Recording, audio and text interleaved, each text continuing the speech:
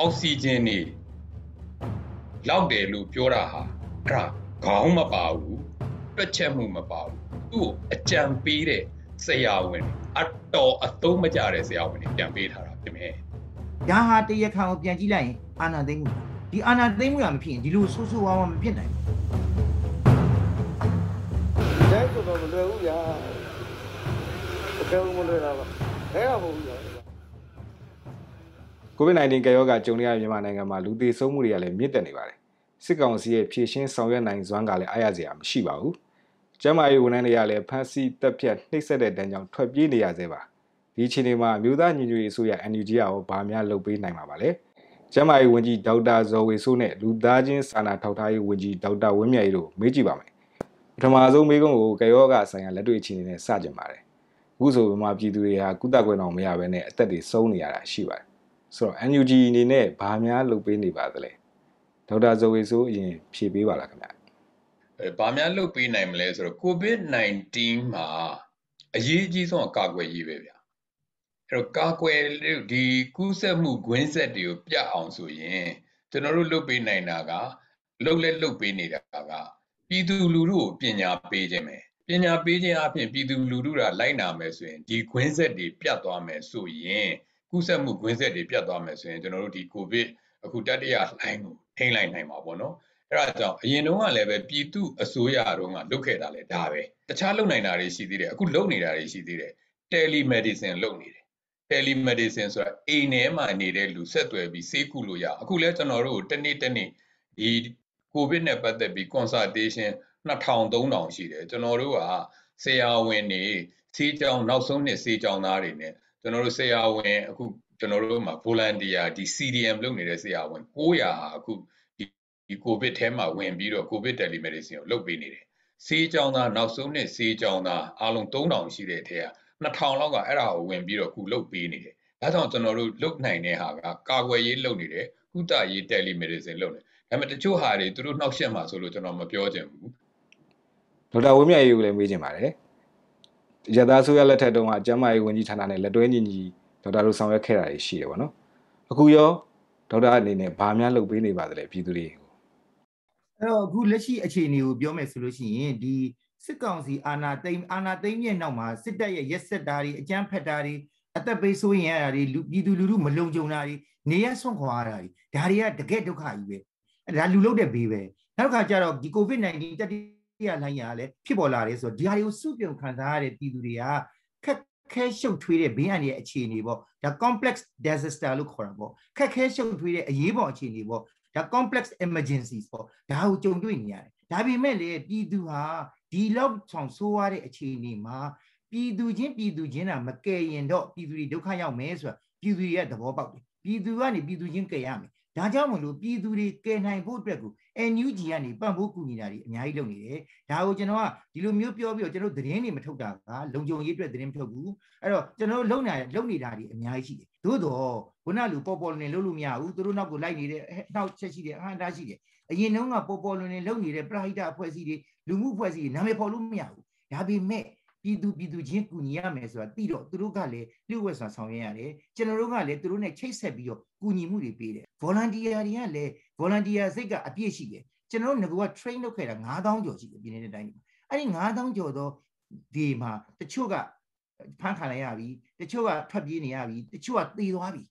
ကျွန်တော်သိတဲ့လူတွေသေသွားတာအများကြီးပါတယ်ကိုဒီ training ယူပြီးသားတွေအဲ့တော့ဒီ volunteers တွေက train volunteers တွေအရန်နေတာအဲ့တော့သူတို့ကိုကြံခဲ့တဲ့သူတွေက သူတို့ရဲ့တက်ထားတဲ့ပညာနဲ့သူတို့ကမနေဘူးမနေတော့ပြည်သူတွေပြည်သူတွေချင်းကိုလျှို့ဝှက်စွာကူညီနေကြတယ်တို့တော့ဒါတွေကိုကျွန်တော်တို့အနေနဲ့အဲသတင်းတွေထုတ်ပြန်လို့မရဘူးဆိုတဲ့အတွက်ကြောင့်တကယ်တမ်းပြောရရင်တော့ပြည်သူအញ្ញညင်တာတယ်ကျွန်တော်တို့လှုပ်ချင်သလောက်ယာနှုံးဖြစ်မလုပ်နိုင်ဘူးပေါ့နော်ပြည်သူအစိုးရနဲ့ပြည်သူနဲ့လက်တွဲပြီးတော့ကျွန်တော်တို့ပြန်လုပ်လိုက်ချင်တာ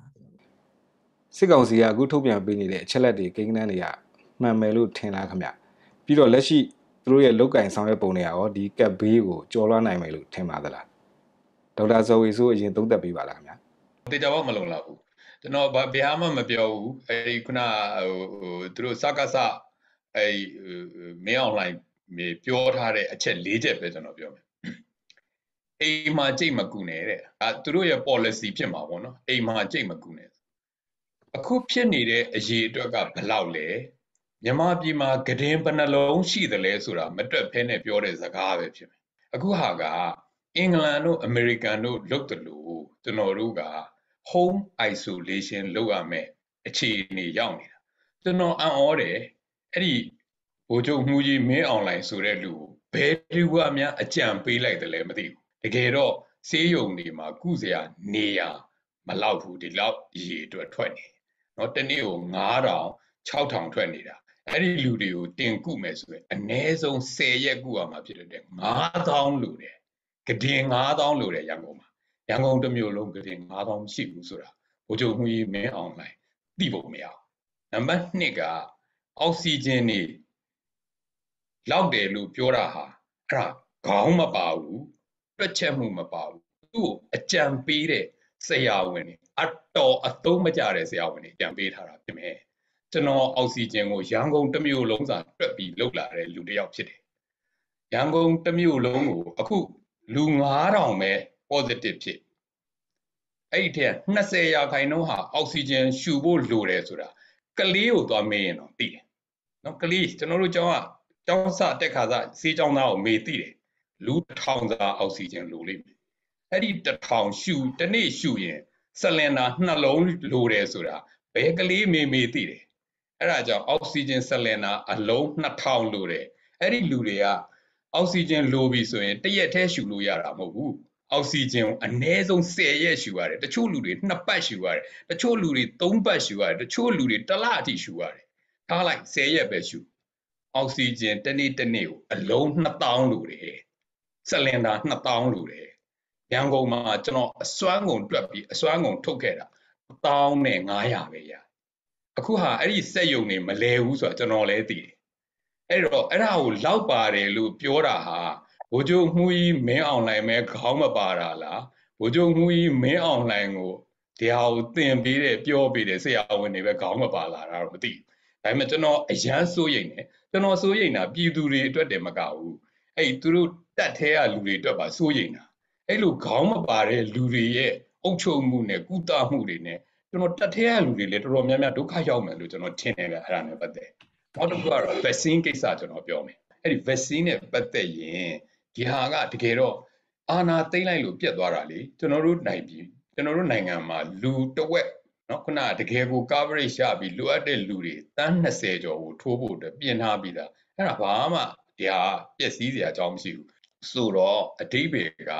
management ပဲဗျ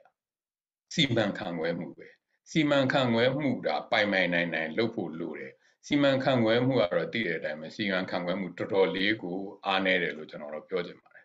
ဟုတ်ကဲ့ကျေးဇူးပါဒေါက်တာဝင်းမြတ်ရေးအနေနဲ့ရောဒီပေါ်မှာဗာများပြောစရာရှိပါသေးခင်ဗျာဒါကတော့တကယ်ကိုပဲ under reporting လို့ပြောပြောလို့ရတယ်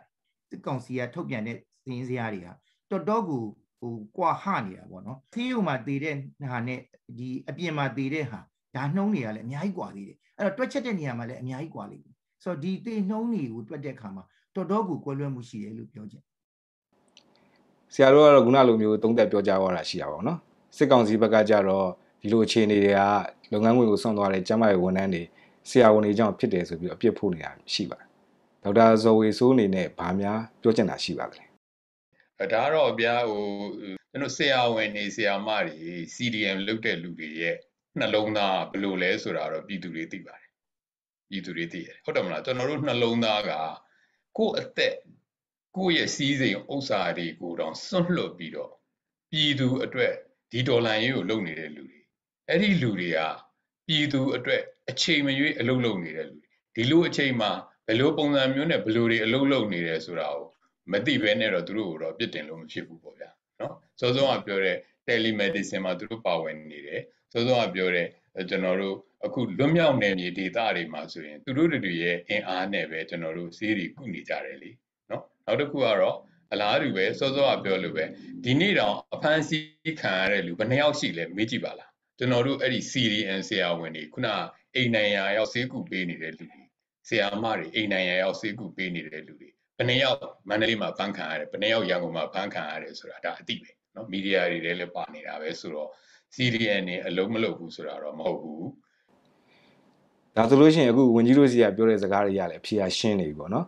ဒီအတွေ့အကြုံရှိတဲ့ဒေါက်တာတို့ရောကျန်းမာရေးဝန်ထမ်းတွေရောအကုန်လုံးကပြည်တွင်းကနေပြီးတော့နေပြီးတော့အဲတရားဝင်ကူညီပေးလို့ရတဲ့အခြေအနေမျိုးလည်းမဟုတ်ဘူး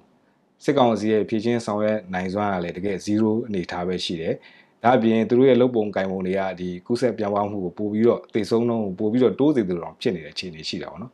ဒီလိုအခြေအနေဇိုးနဲ့ကြုံနေရတဲ့မြန်မာပြည်သူတွေကိုဆရာတို့ဘာများသတင်းစကားပါကျင်ပါတယ်ဘာတွေအကြံပြုကျင်ပါတယ်ဆိုတော့ဆရာဇော်ဝေဆိုးအရင်ဆုံးပြောပြပေးနိုင်ပါခင်ဗျဒီကုဆက်တက်တဲ့ယောဂရဲ့သဘောတရားကတောက်လျှောက်ကြီးတက်သွားပြီးတော့တခါလေလူတွေအများကြီးတည်ပြီးတော့အဲ့လိုကြီးဖြစ်သွားမဟုတ်ဘူးသူကတစ်ချိန်ချိန်မှာတော့ပြန်ကျလာ မှာသူကယောဂတွေကူးဆက်သွားပြီးခုနလို immunity ရဟိုဟိုဟိုကိုယ်ခံအားတွေရပါပြီးတော့အဲ့လိုမျိုးနေတော့သူကကြတော့ကြလာအဲအဲ့ဒီကြလာတဲ့ဟာကိုကျွန်တော်တို့ကခုနအများကြီးတက်ပြီးအများကြီးတည်တာမဖြစ်အောင်အများကြီးကျွန်တော်တို့အသက်ဆုံးရှုံးမှုတွေမဖြစ်ဖို့အတွက်ကျွန်တော်တို့လုပ်ဖို့လိုတယ်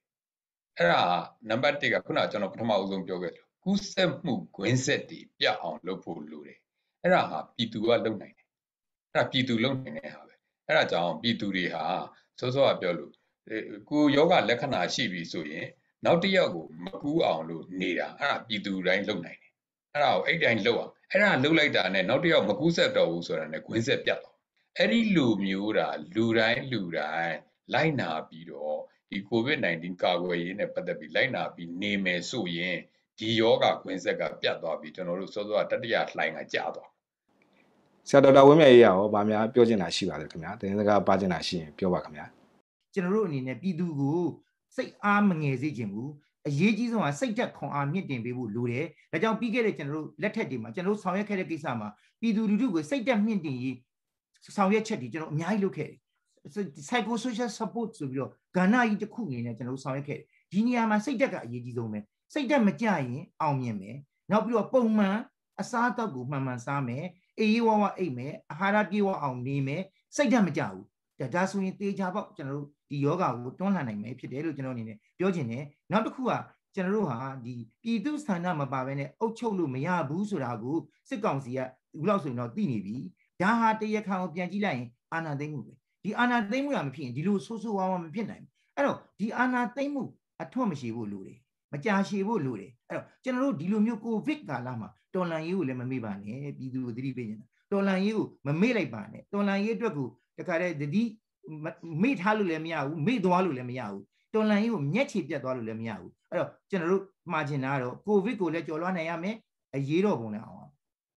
အခုလိုပြည့်ပြည့်စုံစုံဖြေကြားပြီးတဲ့အတွက်မြန်မာနောင်ကအထူးပဲကျေးဇူးတင်ပါတယ်ကျွန်တော်ကတော့မြန်မာနောင်ရဲ့ကြီးတန်းသတင်းတောက်ညာလိုက်လင်းပါ